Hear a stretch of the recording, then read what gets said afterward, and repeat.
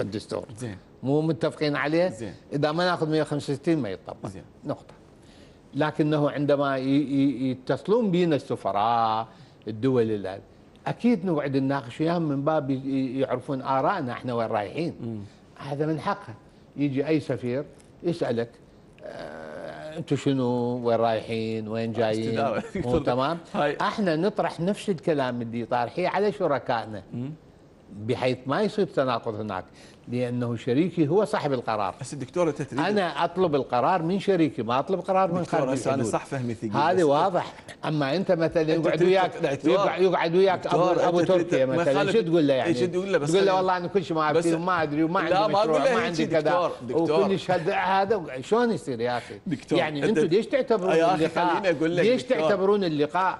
بأي سفير مو- ما هو, يخ- هو لقاء والله؟ العظيم يا ج- هاي علاقات دولية والله العظيم وأنت ملتقي. تقود بلد مثل العراق. لازم يكون منفتح والله العظيم و- أتفق ويكون وياك. واضح للعلم دكتور. أنت تريد تقول لي ف- أنا صح فهمي ثقيل بس أنت تريد تقنعني إنه العلاقة فقط في تداول الآراء وتبادلها؟ يعني ما منطيكم فلوس ليش ما راعين؟ وضعكم أنتم ما اجتماعيا ما فلوس. قابلين ما إحنا شلون ما تحتاجون ما نحتاج إحنا فلوسنا منا وبينا عندنا رج... وا- يعني تحالف. عزم ما منطي ما منطي تداول ابدا فلوس ولا عانى ليش؟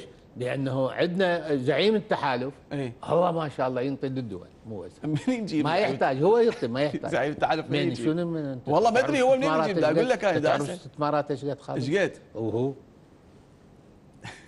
يعني هاي لا، لا، أصلا الصرف علينا يعتبر فلاسين. بالنسبة له طبعا. بالله عليك. والله العظيم. الله يزيد خيره بس وهذا الاتفاق الأصلي ولذلك إحنا مطمئنين. الاتفاق انه أنت ممول. ولذلك إحنا م... إحنا مطمئنين زين. أنه إحنا آه، ضمن الدائرة العراقية لأنه ممولنا عراقي وامواله مو من مو من الداخل. امواله الله رازقه عنده شركات لا أنا كبيرة. مقتنع ولا المشاهد مقتنع.